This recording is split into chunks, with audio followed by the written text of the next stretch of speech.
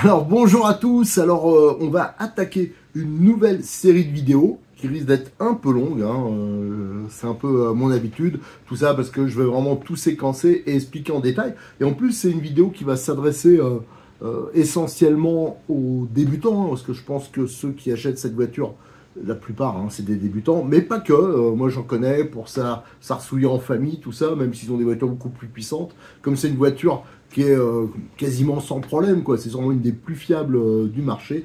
Euh, donc même pour faire muse, c'est assez sympa. Moi, moi je prends, personnellement, je prends toujours plaisir à les piloter, ces voitures. Donc on parle bien des STX MTX de chez Funtech. Je précise, les dernières versions, d'ailleurs je pense qu'à Noël il s'en est beaucoup vendu, vérifiez que vous avez sur le contrôleur là, récepteur, c'est bien marqué Funtech. Donc ça, c'est les euh, nouvelles euh, versions. Il y a eu quand même pas mal d'améliorations euh, au niveau de la radio, essentiellement. Alors ces voitures qui sont économiques, hein, je crois que ça vaut 140 euros à peu près. Je, rappelle hein, au passage Cyril de Medis 34 qui va nous aider pour cette série de vidéos. Et vous avez 5% toute l'année. Hein, je vous mets le code promo au début de chaque vidéo. Il suffit d'être enregistré sur le site et hop, vous pouvez euh, le rentrer, le code promo. Euh, et, en plus, il offre le kit dépannage. J'ai fait une vidéo il y a 2-3 jours. Donc, ça veut dire que vous avez euh, d'origine, hein, il vous offre un sachet dedans. Il y a du double face, de la visserie, des roulements, des écrous de roue, des colliers. Enfin, voilà, tout le nécessaire pour les premiers petits dépannages. Et ça, c'est important. Alors, cette voiture hein, qui est euh, pour moi pétrie de qualité, généralement quand on me dit euh, tiens j'ai un budget de 150 euros, c'est une question qu'on me pose souvent. Je cherche même pas, je dis point MTX ou un STX. Et euh, ça je suis quasiment sûr de ne pas me planter à chaque fois. C'est des voitures sympas. Le truc c'est pour les faire évoluer. Alors ceux qui veulent se faire plaisir, qui voilà, ils ont un, petit budget supplémentaire, on peut monter les amortisseurs hydrauliques. En plus les options sont vraiment pas chères, elles sont jolies et pas chères. Hein, on peut monter, euh, même si ça ne sert pas à grand chose, il y a les portes fusées, les étriers en, aluminium qui existent, des choses comme ça. L'éclairage. Mais par contre, si on veut avoir plus de, patates, hein, parce que le châssis peut résister à, beaucoup plus de, puissance et c'est vraiment amusant, elle est là, la voiture. Hein. pour ceux qui connaissent la chaîne, ils l'ont vu sûrement en, euh, préparation, si vous regardez les, vidéos euh, Fun Tech qu'on a fait. J'étais parti d'un modèle de base, mais c'était les tout premiers. Euh, donc il y avait quand même pas mal de défauts. Il y avait la couronne plastique encore à l'époque. Maintenant c'est tout métal. Il y avait les premières radios. Et on l'avait transformé en brushless. Et cette voiture qui roule régulièrement depuis, c'est un avion. Vous voyez, j'ai mis des pneus short course, tout ça. on en reviendra aussi sur les pneus. Je l'ai déjà évoqué. Mais voilà, on va faire un rappel de tout ça. On va en profiter pour tout revoir. Et j'avais adapté la carrosserie Cox Baja qui va nickel dessus. Elle est hyper adaptée. En plus, quand je me gamelle, comme ça arrondit une Cox, ben, ça tendance à remettre un peu sur les roues automatiquement. Et en plus, c'est un peu de gueule. C'est juste moi qui suis nul pour les, les peintures. Mais ça, c'est la Cox Baja qui est commercialisée par Cyril. Hein. C'est lui qui fait euh, les reproductions. Euh, donc, elle est vraiment adaptée à cette voiture. Et cette, euh, base, elle me servait quand quelqu'un me demandait de tuto, enfin, quand, quelqu'un me demandait, tiens, je voudrais mettre un brushless sur mon Funtech, euh, comme l'espace est compté, qui a un carter supérieur, là, qui limite euh, bien sûr euh, l'accès, je disais, mais prends un Orion. Il y avait des Orions, c'était la fin d'ailleurs, c'était des fins de stock, hein, donc ils étaient en promo, ils moins chers, c'était vraiment intéressant. Et c'est des, moteurs contrôleurs deux en un. Ça veut dire, au lieu d'avoir le moteur d'un côté, le contrôleur de l'autre, alors j'en ai, un alors c'est pas un Orion, mais c'est c'est un connect qui se monte sur le, les crawlers. C'est le même principe, ça veut dire que vous avez le moteur brushless et à l'arrière ici vous avez la partie euh, contrôleur. Malheureusement ces Orions ne sont plus disponibles, donc euh, ma bidouille que je proposais, ben, elle est plus euh, valable. Alors il y en a qui m'ont dit ben, pourquoi tu montes pas un connect? Alors j'avoue que je ne sais pas si les possibilités, si c'est vraiment réservé au crawler ou pas, peut-être pas, mais surtout c'est pas assez puissant. C'est un 1800 kV, si on veut garder les batteries d'origine, donc utilisées en 2S, ça va pas être une flèche. Alors j'avais un peu laissé tomber l'affaire et j'avais quand même utilisé cette voiture. Je rappelle que c'est pour ça que je la conseille, cette voiture, c'est celle qu'on en a quatre. On les utilise pour faire de l'écolage. Parce que RC Max, c'est une association. donc ça, c'est une des voitures d'écolage. Et qui avait servi pour faire aussi une série de vidéos sur le montage d'un moteur charbon avec un contrôleur séparé.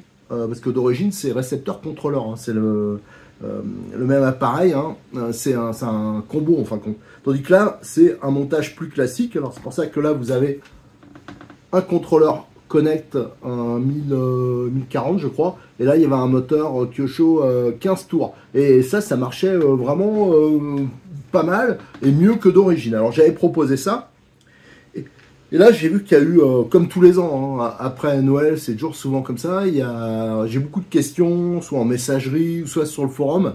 Alors d'ailleurs, je le dis, hein, la messagerie, c'est vraiment, c'est problématique pour moi de répondre parce que j'en reçois beaucoup de messages. Et l'avantage du forum, c'est qu'on peut faire des réponses collectives. Alors j'essaye de privilégier le forum. Et il y a des questions sur comment monter un brushless dedans avec un combo euh, classique. Alors je sais que c'est difficilement euh, réalisable, à moins de charcuter le carter là. Euh, donc c'est plus trop étanche, après il y a les cailloux qui rentrent, tout ça, alors on va voir. Euh, et je me suis dit hier, bon allez go, hein. je vais me lancer, j'ai, je vous montrerai ça après, mais j'ai un contrôleur et un moteur qui me servent pas, en plus c'est un moteur qui pousse bien. Alors on va essayer d'en faire, contrairement à celui-là qui était, qui pousse, mais qui était normal quoi, je veux dire, pas un dragster, on va en faire celui-ci d'un dragster, on va faire de la roue arrière. Hein. Je vous dis, ça va, ça va pulser. Je crois que c'est un 4006 qu'on va monter, donc c'est vraiment euh, un peu dans les extrêmes. Et euh, la difficulté, la principale difficulté, ça va être la place. Hein. Euh, là, ça risque d'être un peu problématique. Allez, ce qu'on va faire, je vais vous remontrer la voiture, je vais vous redonner un max d'explications. Il faut que j'aille voir Cyril pour récupérer quelques options, parce que peut-être que celui-ci, on va se le faire toute option. Je vais voir, il y, a pas mal de, les prix ont bien baissé des options euh, du Funtech pour une fois qu'il y a un truc qui baisse. Euh, même si ça sert à rien, je vous dis les pièces à bah, peut-être qu'on les montera. Mais en tout cas, on va monter, ça c'est sûr, les amortisseurs hydrauliques. Et après, on va le dépouiller. Je vais vous redonner des explications sur le capot, hein, ça le kit. Si vous avez un Funtech euh, STX ou MTX, c'est vraiment important de prendre le kit visserie spécial pour le capot, hein, ça évite d'avoir de, de, foirer les têtes de vis qui d'origine sont bombées. Là, c'est des têtes cylindriques et de meilleure qualité.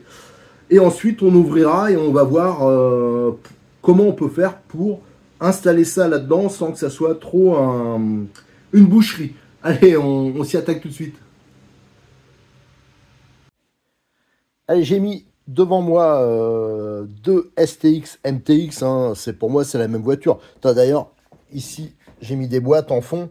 Ça, c'est les premiers euh, STX. Alors, le STX, il se reconnaît surtout avec son support et l'aileron. Et les MTX, ils sont, euh, ben là, il n'y a, pas d'aileron. Euh, c'est plus une carrosserie euh, pick-up traditionnelle. C'est un peu plus, entre guillemets, réaliste. Et il y avait aussi les DTX. Alors, méfiez-vous, les DTX, on en trouve encore. Mais c'est l'ancienne électronique. Alors, et la carrosserie est quand même assez fragile. Donc, faites attention avec ça. Et pareil, hein, pour les MTX, actuellement, je crois qu'on trouve que des STX. Voilà, c'est ça. Euh, parce qu'après Noël, bien sûr, il n'y a plus de stock. Il faut vraiment qu'il y ait ça sur la boîte. Un Connect, parce que j'ai encore eu euh, ce matin quelqu'un qui m'a contacté, que j'ai voulu dépanner. Et en fin de compte, je me suis aperçu que bah, une très grande boutique française lui a refilé un, vieux modèle, donc la génération d'avant. Euh, donc méfiez-vous, hein. quand vous achetez, il faut vraiment que ça soit les tout derniers. Donc avec euh, l'électronique euh, Connect. Euh, donc, qui, le, gros avantage, c'est qu'on a une radio qui est plus moderne. Donc, faites attention à ça. Alors, en fin de compte, là, entre temps, entre le moment où j'ai fait le petit générique, la présentation du projet et le moment où je commence vraiment la vidéo, j'ai encore eu ben, des échanges de messages et je m'aperçois qu'il va falloir que je recommence presque à zéro en fin de compte parce que entre les toutes premières vidéos que j'avais fait, c'était vraiment la première génération. On avait fait ça avec Cyril, un Modis 34, euh, qu'on voyait sur les vidéos, euh, comment changer un cerveau. On avait fait des tutos divers et variés. Mais comme il y a eu des changements sur les voitures, euh, il y a certaines choses qui sont plus tout à fait valables. Donc on va faire une série comme je fais un peu d'habitude, donc ça va être long. Et là, ça sera plus facile, on va séquencer, et ce sera plus facile euh, si vous avez par exemple un problème de transmission, il faudra aller sur telle vidéo, euh, un différentiel, comment le refaire sera l'autre vidéo, voilà, toutes ces choses-là. Alors ça, pour rappel, ça c'est euh, le STX, c'était la première génération avec la couronne plastique qu'on avait fait toute une série de vidéos là qui sont tout à fait encore valables pour le transformer en une petite bête de course. Franchement, celui-là, il marche super bien. Euh, avec cette carrosserie, elle a plusieurs années maintenant, elle résiste, regardez, elle résiste bien. Pourtant, il y a des gamins qui ont fait n'importe quoi avec tout ça. La carrosserie, elle, est vraiment euh, balèze. Donc ça, quand vous voulez changer une carrosserie, parce que c'est sûr que les carrosseries, elles en prennent plein la tête avec les débutants.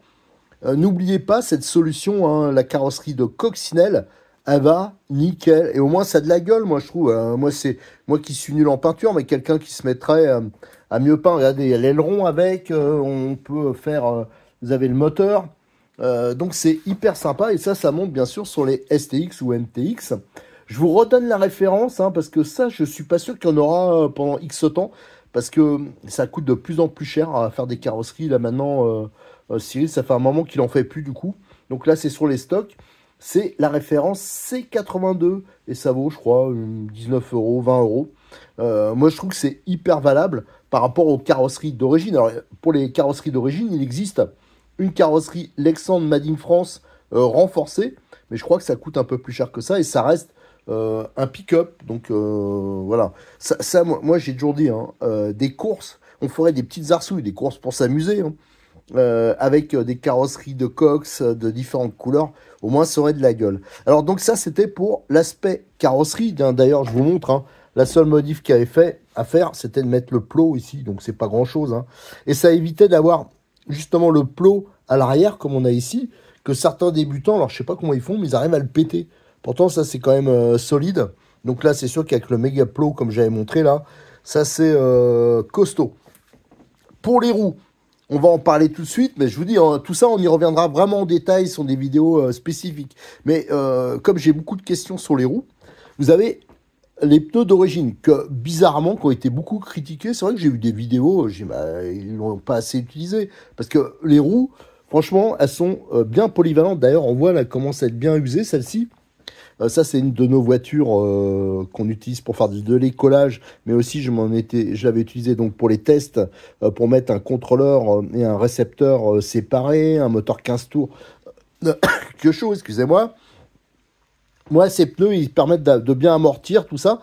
Mais si on veut plus de performance, c'est-à-dire si on veut un peu comment dire, faire euh, du, pilotage sur un circuit et qu'on gonfle le moteur. Imaginons qu'on a déjà fait la modification euh, brushless, comme ce, sur celui-ci. Alors je rappelle, hein, ça c'est un moteur du type, je vais le chercher, voilà, comme ceci. Alors c'est pas celui-là, hein, mais c'est-à-dire que le moteur, il y a le contrôleur derrière. Donc c'est pour ça qu'ici, il n'y a plus rien. Regardez, j'ai plus que les câbles. Donc ça, c'est bien parce que c'était compact. Malheureusement, j'ai juste été obligé de faire un trou là. Euh, j'ai jamais eu de problème avec et cette voiture, elle a énormément, mais énormément euh, tourné. J'ai juste l'option amortisseur hydraulique. Autrement, le reste, euh, à part le kit visserie là, qui est vraiment indispensable, hein, ça je le rappelle. je rappelle ça si vous avez un Funtech, il vous faut ça, c'est le kit M2001. Ça vaut, je crois, 6,24€. Alors, vous en privez pas. parce que quand on démonte le carter, systématiquement, il y en a qui foirent les vis comme c'est des têtes bombées d'origine. Donc ça, je rappelle, c'est vraiment important de mettre ce kit visserie euh, qui est pas cher et qui est vraiment euh, efficace. Euh, donc ça, c'était la modification que pas mal ont, suivi par la suite et donc qui donne vraiment de bonnes performances. Et avec en, en, mettant en plus des pneus short course, ça permettait d'avoir une voiture vraiment, moi, des voitures beaucoup plus grosses euh, j'arrive à les suivre avec ça. Et en plus, c'est compact, euh, c'est marrant, c'est euh, un châssis quand même qui court alors, dans les parties sinueuses. Ça va vraiment bien. Alors bien sûr, avec des pneus comme ça, c'est pas comme ceux, ceux d'origine qui sont hyper polyvalents. Même si on roule sur le goudron, ils vont pas trop se bouffer. tandis que ceux-là, on va les massacrer. Alors, si, comme j'ai beaucoup de questions là-dessus, n'achetez pas n'importe quoi au niveau des roues. On y reviendra, je vous montrerai comment on monte par exemple des routes TT1 8 parce qu'on peut monter des routes TT1 8 dessus. Ça fait, un look marrant, c'est une voiture hyper compacte. Euh, ça, on le verra. Mais le plus raisonnable, et euh, si vous êtes pressé, vous voulez des roues qui soient un peu plus performantes, mais qui restent hyper solides, euh, qui s'usent pas et qui sont polyvalentes, hein, il faut, voilà, c'est cela. Ça, c'est les roues du DB8. Elles montent en lieu et place. Il n'y a aucune modif à faire. Euh, parce que vous avez le bon déport. N'achetez pas n'importe quoi parce que vous risquez d'avoir des problèmes, de vous retrouver avec une voie qui est beaucoup trop euh, étroite ou un montage qui ne sera pas possible. Euh, ces roues-là, c'est la référence. Alors pareil, hein, ça je l'ai pris chez Cyril, hein, chez Modéliste 34. c'est la référence HT471. Ça, c'est vraiment des pneus qui sont voilà, performants, que ce soit le goudron, la terre, l'herbe, les cailloux, tout ça ça va bien et euh, la gomme elle est euh, très épaisse, hein, vous voyez, des gros crampons. Euh, donc avant de les bouffer, alors à, l'achat c'est sûr que ça fait un petit investissement, mais par contre après vous serez pas déçu. Hein. Ça c'est vraiment très bien. Voilà. qu'est-ce qu'on pouvait dire? Alors l'idée, on va partir. après on fera plus tard, on fera les diffs, les trucs comme ça. Mais première chose qu'on va faire, on va regarder cette histoire de je veux modifier euh, ma voiture, la passer en brushless. Alors on changera les roues, ça on verra. Mais ce qu'il va falloir faire, on va devoir retirer le capot. Il y a toute l'électronique. On va retirer le, contrôleur, le moteur, et il va falloir caser ça dedans. D'ailleurs, c'est ce que je vous conseille. Hein. si vous voulez faire la modif, partez d'un bon combo, d'un combo euh, connu, et surtout, le plus important, qui est livré. Quand vous le prenez, euh, un combo Connect, ça vaut, je crois, 99 euros. Voilà. Euh, donc je rappelle, hein, Cyril, avec son code réduction, vous avez 5% en moins, tout ça. Euh, l'avantage, c'est qu'il est livré avec le boîtier de programmation, et ça, c'est vraiment important. Parce que souvent, il y a des combos qui sont euh, vendus, il n'y a pas le boîtier. après, le boîtier, des fois, bah, il n'est pas toujours donné ou pas disponible. Donc ça, c'est vraiment bien, parce que ça, c'est de l'Obi-Wing à la base. Donc c'est fiable. Et enfin voilà, c'est très bien. Le seul reproche que je fais, c'est que les fils ils sont assez rigides là, et on ne peut pas les raccourcir. Donc dans notre montage, vous comprenez bien que le moteur il va être collé là. Il va falloir coller ce contrôleur là-dedans, ça va pas être simple, euh, surtout à cause du boîtier. Et on va se retrouver avec des câbles euh, qui sont euh, beaucoup plus longs, quoi. Donc ça, c'est sûr que ça va falloir trouver une solution. À mon avis, les câbles, on va être obligé de les sortir à l'extérieur et euh, de trouver un système de fixation, voilà, comme j'avais fait un peu. Là aussi, le câble, il était extérieur, on le sortait ici pour la prise euh, euh, d'accu, et vous voyez, j'avais mis cette petite bride. donc ça, c'est des modifications qui sont pas prévues hein, dans la conception d'origine, hein, c'est du 1 12e, hein, c'est compact. donc, va falloir faire des compromis sur l'esthétisme, je pense. quitte après, si on fait de trop gros trous, à faire un système de filet, comme on voit, ça c'est vendu en option sur pas mal de voitures, euh, euh, des, des buggy, je pense les Traxas, les machins, il y a des accessoiristes qui font des, des filets et qui empêchent les cailloux de rentrer, parce qu'autrement tout va aller dans la transmission. Ça, faut faire attention. Donc, faut pas être un charcutier, un boucher euh, de la mécanique. Autrement, ça va être un carnage. Donc voilà. Alors, comme je veux faire plus spectaculaire au niveau performance, autant faire un truc marrant, quoi. Euh, alors, je le conseille pas. Hein. Moi, je vous conseille. Je vous dis, celui que je vous conseillerais, moi, c'est le combo Connect, un 3005 par exemple.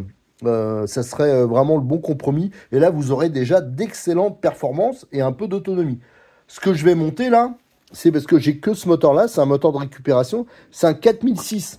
Donc là, c'est, je pense, trop puissant pour la voiture mais bon, déjà, j'ai que ça euh, de RAB. Et en plus, euh, je vous dis, je vais faire euh, vraiment un peu le contre-exemple. L'autonomie, je m'en tape un peu. Hein, c'est pas, j'ai d'autres voitures avec lesquelles je peux rouler. Ce sera vraiment pour une voiture de démonstration et pour montrer, pour faire des tutos pour comment faire cette modification qui, je pense, ne sera pas disons que ce ne sera pas simple de faire quelque chose de propre. Voilà, c'est surtout ça.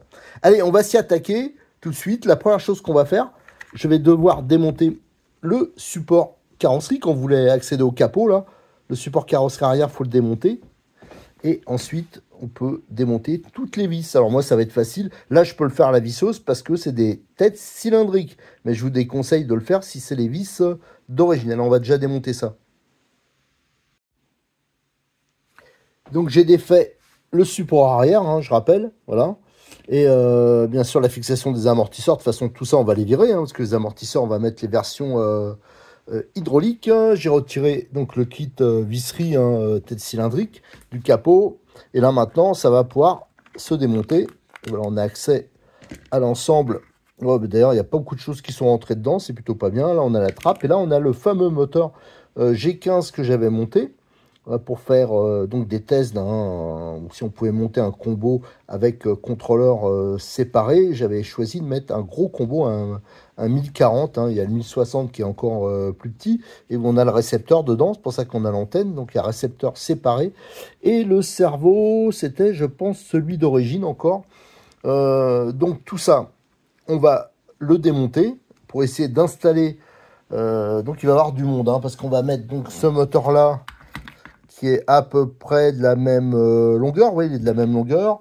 Et le contrôleur, je le prends à côté. Lui, c'est un peu plus large. Donc ça devrait monter, mais je vous dis, hein, le, problème, ça va être euh, tout ce qui est câble. Donc va falloir faire... Euh, bah, de toute façon, je m'en fous. Hein, un capot, j'en ai un d'avance. Je vais réutiliser celui-là, c'est pas grave. Euh, de toute façon, je, en charbon, j'ai déjà. Donc ça, c'est pas un problème. On mettra peut-être un petit sargon un peu balèze. Tiens, on en profitera. On va se faire un petit délire. On montrera la direction sur roulement. Je vais peut-être en profiter pour faire les diffs aussi. Je pense pas qu'on l'avait fait. Je m'en rappelle pas. On vérifiera. Euh, voilà, donc on va essayer de bien le bidouiller pour en faire un une bombe, ce petit euh, SX. Alors tout ça, on le verra sur la prochaine vidéo que je vais enchaîner tout de suite parce que j'ai fait déjà assez long. Et je pense qu'on commencera pas tout de suite par le dépouillage.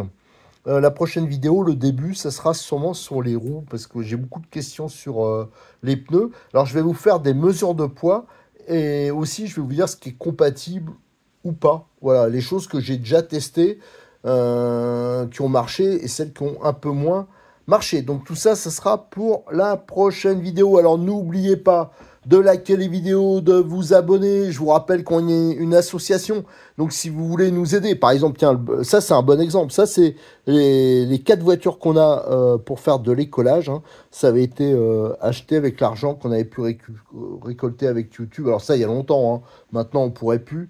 Euh, avec YouTube, des dons, euh, des donateurs, des trucs comme ça. C'est pour ça que dans les commentaires des vidéos, à chaque fois, vous l'avez, euh, le lien du PayPal de l'association. Et bien sûr, n'oubliez pas de venir nous rejoindre sur le forum de rcmal.com, qui d'ailleurs va changer bientôt. Hein. Il y a Romain qui s'occupe de tout ça, qui a dit qu'il allait créer. alors même, je sais, c'est plus trop à la mode les forums, mais pour le modélisme, moi je trouve que ça a une utilité parce qu'on peut euh, mettre des explications et que les explications elles restent, c'est pas de l'instantané, c'est pas quelque chose qui disparaît. Allez, merci, à bientôt.